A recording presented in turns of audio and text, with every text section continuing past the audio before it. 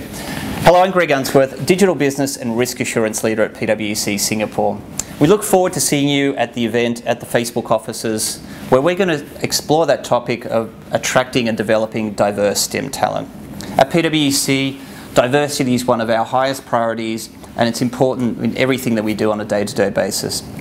For the event itself, I'm going to provide the opening presentation. I'm going to share some, some global perspectives on some of the emerging trends shaping uh, our global forces and business today and the importance that STEM talent plays in addressing those issues. So I'd encourage you all to join and support the event and support Girls2Pioneers very importantly. Thank you.